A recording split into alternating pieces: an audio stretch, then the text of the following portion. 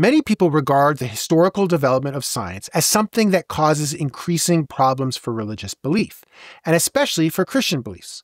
What they don't realize is that that view is simplistic and inaccurate. Science actually develops in all kinds of complex ways, and even in ways that support Christianity. One example of this is the 20th century development of the Big Bang Theory, which said that the universe had a beginning. This was significant because up until then, many people thought the universe was eternally old. The atheist philosopher Bertrand Russell is one example of this.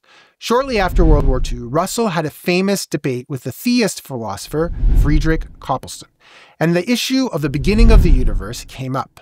The historian Nick Spencer points this out. Uh, Bertrand Russell and, and Frederick Copleston mm. um, were debating this subject just after the war. And Copleston argued that the universe had a creator, and Bertrand Russell argued, no, we can justifiably say it's been there forever. Mm.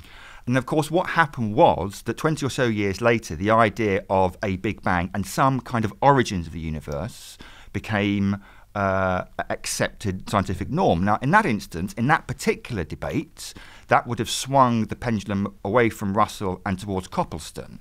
But of course, you never know what's going to be around the corner. Nick Spencer makes an important point here.